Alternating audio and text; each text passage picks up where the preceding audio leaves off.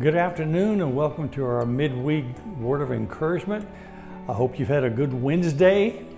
I hope that weather didn't keep you awake too much last night. We had quite a rainstorm last night. I heard that there may have been some hail in parts of the parish and the region. I hope that didn't affect you. No wind damage, no flooding, or anything of that nature. You know, we, we have a lot on our plate these days. I've try not to listen to the news too much, and but I do watch it some. And I've, I've heard the term uncertain times used quite often describing the, the pandemic that we're in. And it, makes me kind of wonder just, you know, how uncertain these times really are. For me, personally, these are not uncertain times because I know who holds these times. And there's nothing uncertain with God. He is the most certain thing that we have in our existence right now. I want to get right into the Word, but before I do, I want to pray and ask for Holy Spirit to visit you as well as myself during this time of, of communion with Him. Father, I ask you for your presence to rest upon myself and upon those watching this broadcast. I'm asking you, Lord, to fill these rooms, these places where they're dwelling, if it's a car, if it's a, a, a just wherever, Father, with your presence. Make me a conduit, Lord. Make me a facilitator of your word this hour. And communicate to these that are listening and watching your heart for them during this hour. Cause them to know, Lord, that there's no, nothing uncertain about this time that we live in as far as you're concerned, that you have everything in control. And I'm asking you to do this in the name of Jesus. Amen. I want to get right into the Word. I won't keep you a long time tonight. I want to get right into the Word and looking at 2 Timothy chapter 1. Paul is writing to Timothy. Now, he has been in prison. He has been he, he'd been through just all kinds of stuff. And we're calling it stress. And he's writing to Timothy about the trials and the tribulations. Timothy was a young pastor. And he was uh, pastoring a church that Paul had set up in Ephesus. And Timothy was under a lot of stress. Now, stress is not anything that's unfamiliar to us. We all, we're in stressful times. Paul told Timothy in another place that, that the last days would be perilous days, stressful days. And uh, I don't know, you know what philosophy or doctrine you adhere to personally, but I believe that we are on the verge of not on the beginning or the the first parts of the last days. Now, not the last day, but what, you know, what's commonly in the Greek called the, the end of the age. No one likes to hear that. But personally, I'm excited about it because I am anxious to see the return of Jesus Christ. I am anxious to see him set up his government upon this earth. I am anxious to see him taking rulership of the nations. And before he does, you know, there's going to be some tough times. And it's going to produce a lot of stress. Now, stress is just simply a mental or emotional strain or tension resulting from adverse circumstances, demanding circumstances. And during this, this pandemic that we're in, these are stressful times. Now, I have the privilege of talking to many of our membership of the Preparing the Way Ministries on the phone during the week. And I am so happy and glad to say that as I talk to the different individuals, the different families, I don't hear stressful times in their voices. I hear positive, uplifting voices. And I, you know, I, I, I don't hear of hard times, you know, like, oh, brother, oh, this bad. I don't know if we're going to make it or not. I don't know how long we can endure this. I don't hear that. I hear faith filled words I hear encouraging words. They're asking me, Pastor, how are you doing? And I'm telling them, we're doing great. We're doing fantastic. People say, Are you bored? I said, No, my God is not boring. And I spend a lot of time with Him during these days. And he's not boring. I'm boring, but he's not boring. But I don't hear the stressful tension that I'm hearing on so many unbelievers' voices these days. And I want to talk to you just briefly this afternoon about stress. Now, now stress is not a sin. It's not a biblical term, so and it's not a sin. But what can happen is it can produce sinful behavior. Stress is something that is common to every person. If you're breathing, you endure stress. Jesus said in Matthew that uh, in the, in the, that you, in the world you're going to have tribulation. That means stress. You're going to have tough times in the world. And we spend so much time trying to avoid it. And Jesus is saying, you're going to have it. You don't find that in those little bread boxes, those promise boxes that you find at Christian bookstore, but it's there just as it's a statement, it's a promise. In the world, you're going to have stress. But how do we handle the stress?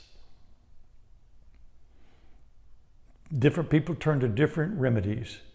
Some medical remedies, some not so healthy remedies like alcohol and drug abuse and things of that nature. Now, if you're on a medication or something like that for stress, don't stop. Keep taking it. You know, if you're under medical attention for stress, then by all means, don't stop. But don't turn to some abusive, temporary solution because all you do is numb it for a little while and wake up with twice the stress. But I encourage you to listen to this word this morning, this afternoon, and find out how Paul handled stress. Now, Paul had a lot of stress, and he was talking to Timothy about the imprisonments and all the things that he had been through. And Paul had been through some tough, tough times. He'd been in prison more than once. He ended up dying in prison, being executed. He'd been shipwrecked and spent hours, night and day, in floating around on a log in the ocean from a shipwreck. He'd been beaten. He'd been whipped. He'd been stoned and left for dead. He had been persecuted beyond any of our wildest dreams. But listen to what he said to Timothy in verse 12 of 1 Timothy, 2 Timothy chapter 1. He says, For which cause I also suffer. The Amplified says, And this is why I am suffering as I do. Still, I am not ashamed. I am not ashamed. For I know, he says in the King James, I know whom I have believed in. And I am persuaded that he is able to keep that that I have entrusted to him, committed to him, put in his hands until that day, against that day. The Amplified says, until that day. What day is he talking about? The day of his return. The day of Christ's return, rather. Paul is saying, I'm not moved. In another place in his writing, he says, None of these things move me. He said he called them temporary light afflictions, just temporary problems, because he had a bigger scope, a bigger picture. This pandemic that we're in is affecting everybody in the world. No one is exempt. That doesn't mean that everybody's got it or is going to get it, but it's affecting our society, the way we live, the way we operate, our government, our business aspect. I don't need to go into all that. You know how it's affecting you personally. It's affecting our children. It's age, you know, it's, it's not age restrictive. It affects all of us and it produces stress in, in our children. They want to go to school, they want to visit their friends, they want to play. We want to visit our friends, we want to play. Some of you never thought you'd say, I need to go to work, I want to go to work. It's stressful. But Paul has got a solution. He says, I know whom I have believed in. I know him. I know him. Psalm 91, verse um, 14, 15, and 16, it says, Because he has set his love upon me, therefore I will deliver him. And he says, And I will set him on high because he has known my name. because he has known my name. When he calls upon me, I will answer. How well do you know God? Do you know him to be a God of integrity, a God of faithfulness, a God of trustworthiness? Paul says, I know whom I have believed in. I know him. I've proved him. I've tested him. I've tried him. And he has shown himself faithful under every circumstance. You say, Well, Paul, you were beat, you were left for dead, you were shipwrecked, you've been in prison. You'll die in prison, Paul. I know whom I've believed in. I know him. He's got a plan in all of this. He's got a he's got a, a, a destiny for me. He's got something in store. There is something greater than comfort in this hour. We're all looking to, to get back to normal. I don't want to get back to normal. He has more for us on the horizon if we will trust Him. If we will just trust Him, He has more in store for us than normal. I don't want to get back to normal church. I don't want to get back to normal anything. I think normal is what got us here. And I don't want to go around this mountain 40 years. I want to find out, Lord, where are you wanting to take us in this? Where do you want us to go in this? And I know where He wants us to go deeper, deeper, and deeper into His presence, into His abiding, comforting, securing, keeping presence. Over the last couple of two or three weeks, I've talked to you about the keeping power of God. Paul knew him to be that keeper. He said, I know.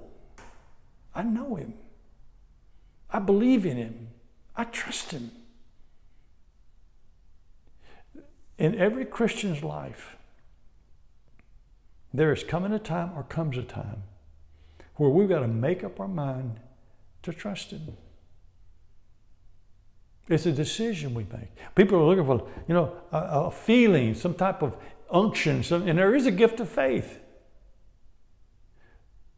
But Paul said to every man has been given a measure of faith. You have faith this afternoon. You have faith today. You've got enough faith too. The measure of faith. How much? The measure. How much is that? Enough.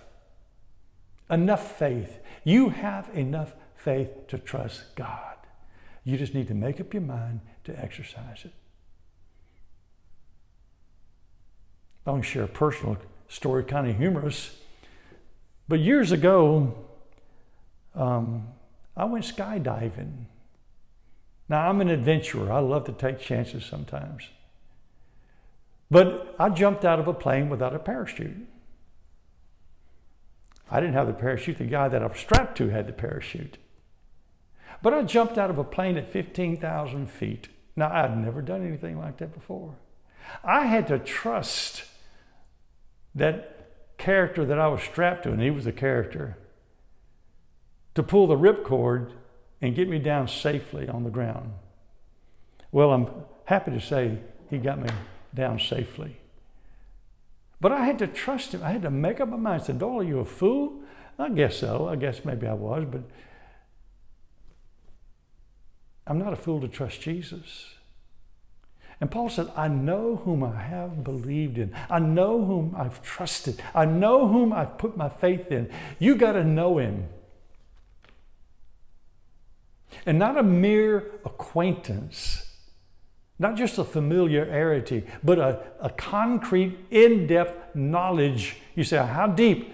Deeper than what you are right now if you're worrying and fearful and stressed and giving into stress. How do you get to know him? You spend time in this book. You spend time in His presence. You spend time in prayer. You spend time in worship. And people, we have an opportunity put before us during this pandemic that we may never have again if we don't utilize it correctly. This should be a time of habit establishing, establishing a way of life. That's what I mean. We don't want to go back to normal. Normal is busy here, busy there, hectic this, hectic that, stress, stress, stress, stress, stress. And God is saying, Be still and know me. Be still and get to know me. I will comfort you. I will sustain you. I will keep you. But you have to know me and trust me. Paul went on to say to Timothy, he says, I know whom I have believed in, and I am persuaded, I am persuaded, positively persuaded, I am convinced, Paul said, that he is able to keep, to keep, to encompass about, to hold dear to his heart that that I have committed to him, that that I have entrusted to him, that that I have laid down at his feet. Jesus said in Matthew 11, 28, he says, Come unto me, all you who labor and are heavy laden and heavy burdened, and I will give you peace. I will give you rest. Take my yoke upon you. Learn of me, he says. Get to know me. See, we're addicted to busyness. We're addicted to activity. We put that's an idol to so many people. But we can't get to know Jesus and be busy, busy, busy, busy, busy. We have to be still. And we have to come to Him. We have to get to know Him. We have to spend time in His presence. Turn the TV off, turn the computer off, put a CD on, put something on the iPod, on your iPhone, or whatever, and just worship. You say, Well, I don't know anything. Go to Preparing the Way Facebook or preparingtheway.com, and we have an archive of worship services that Aaron Doxey and, and Lacey Doxey have done during our prayer room. They're archived. An hour of beautiful, beautiful, anointed worship and just listen. It may be after the kids have gone to bed or before they get up in the morning time. Take advantage of this opportunity. Paul said, I am persuaded that he is able to keep that that I've entrusted to him. You got to put it in his hands. You got to lay it down and put it in God's hands. What am I talking about? Whatever's got you stressed out, whatever's keeping you awake at nighttime, if it's not Jesus, it's not good. Stress is not a sin, but it's an equal opportunity destroyer. Stress can make you sick. It can eventually kill you.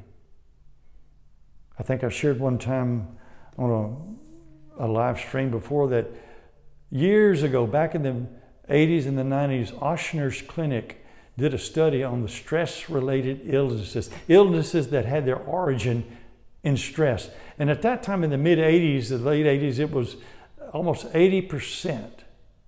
And they did a, a revision of that study in the mid 90s, 10 years later, and they said it was in the 90s that the diseases like cancer, heart failure, things like that were related to stress. Paul was stressed to the max. So, what did he do? He put it before Father. He took Jesus' words to heart Come unto me, all you who are stressed out to the max. Learn of me, he says. Take my yoke, take my, my life upon you, take my doctrines upon you, and you'll find rest for your souls. But we say, no, no, I, I want to try door number one first, or door number two first.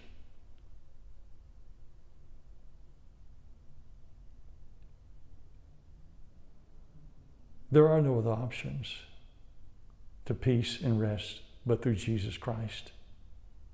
And Paul said, I am trusting everything I am to him.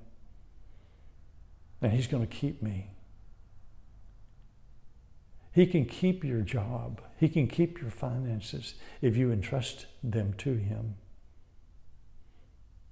He can keep your, your marriage if you put that in his hands and get to know him.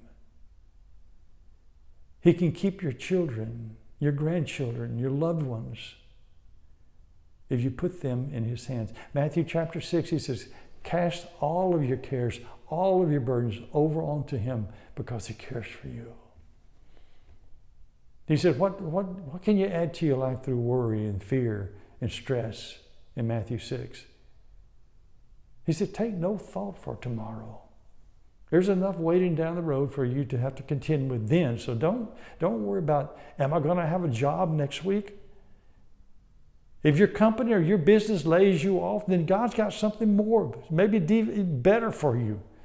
But he's, He is obligated Himself to take care of you. So don't let stress rule your life these days. Be like Paul. He says, I know him. I know him. I trust him. Timothy, yes, I've been in prison. I am in prison. Yes, I've been shipwrecked. Yes, i have been beat. I've been stoned to death. But look, I'm still here.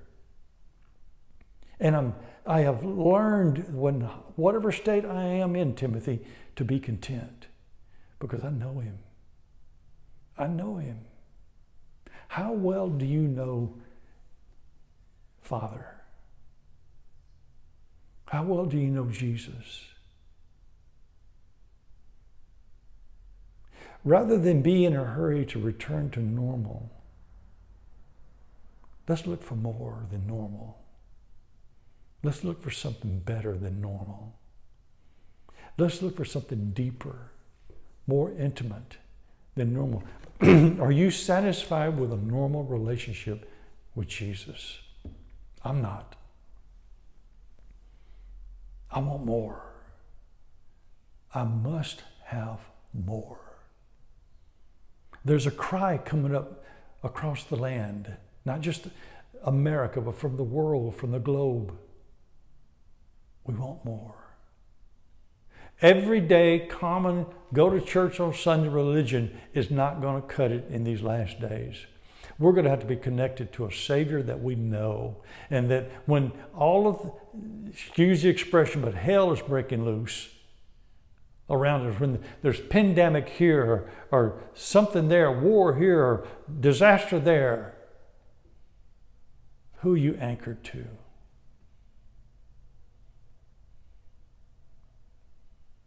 Jesus said in Matthew 7, he said there were two men that built houses, identical houses. One built his house on shifting sand, the other built his house on the rock. Both builders, when they completed their houses, suffered the same devastating consequences. Same storms, same winds, same floods, same pandemic. But the one on the rock stood, and one of the sand fell. And he says, Great was the fall. The one on the rock was founded on Jesus Christ. The cure to stress is to be anchored in Jesus. But you got to know Him. You got to know Him well enough to throw that anchor deep into that rock and say, I'm secure in Him. No matter what happens, come pandemic, come earthquake, come tornadoes, hurricanes, whatever, unemployment, if they run out of all the meat in the world, I trust Him. If quits making toilet paper, I'm going to trust Him because I know Him. And I know He is able, and I know He is trustworthy, and I know He will keep me to the very end. Now, if you don't know Jesus as your Lord and your Savior, if you don't know Him intimately enough to put your hope and your trust in Him, when this telecast is over, I want you to take some time to spend alone with Jesus and just be honest with him. Just tell him the truth. Just talk to him like, like I'm talking to you. And just say, Jesus, I need your help. I'm a mess. I'm stressed out to the max. And I don't know you like I need to know you. Would you grace me and help me get to know you better? I surrender everything I am to you. I repent of all my sins and I ask you to take control of my life. I surrender my life to you. I surrender my job, my family, my finances, my everything to you, Jesus. And I ask you to take control. Now, you may not hear any thunder, see any lightning flashes, feel any goosebumps or anything like that, but Jesus hears that prayer and He will move on your behalf. Thank you for taking the time to, to listen to me this evening. I trust that this has been a blessing to you. If we can be of assistance to you, you can go to our website and contact us. We have a place for prayer requests there. And I want you to be, feel free to utilize that. We'd like to hear your testimonies too. There's a place for comments. So let us hear from you too. But in the meantime, be blessed and tune in again this Sunday morning at 10 o'clock where there's another exciting message on the book of Ephesians coming to you from our pastor, Aaron Doxey. God bless you and be safe.